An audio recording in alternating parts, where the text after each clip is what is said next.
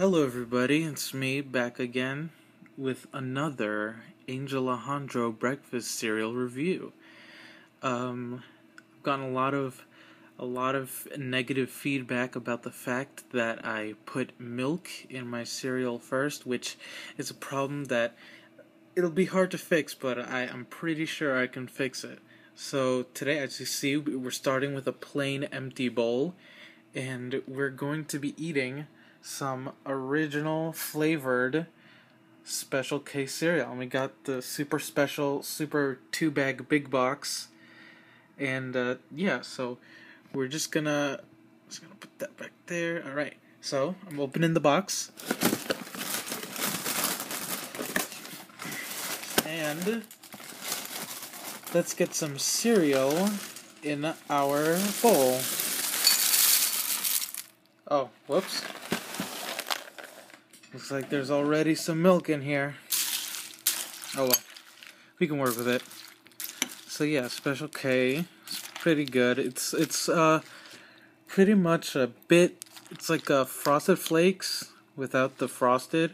So then that would be like uh, corn flakes, which this is. But the thing is, th- uh, this got like uh, they're a bit uh, f- uh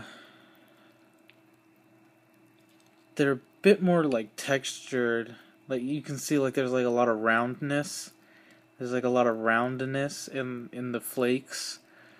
Um they usually have these with a bunch of like straw strawberries. You can get strawberries flavored.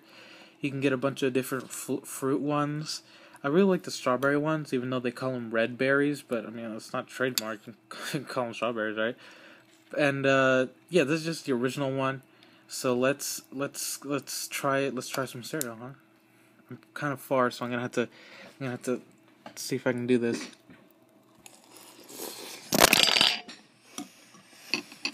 Okay, you don't have to worry about that. I just um I just tripped.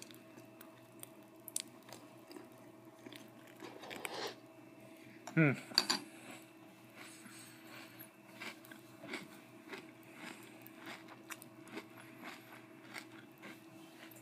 It's not as crunchy as a Frosted Flakes because I think it's because it's toasted. There's a bit more air in it, which leads to the um the sort of or the rounderness in the cereal. But even though it has a plain taste, it's still pretty good. And uh, that's that's pretty much uh, the end of this special K cereal review. I would have to give this a special out of K.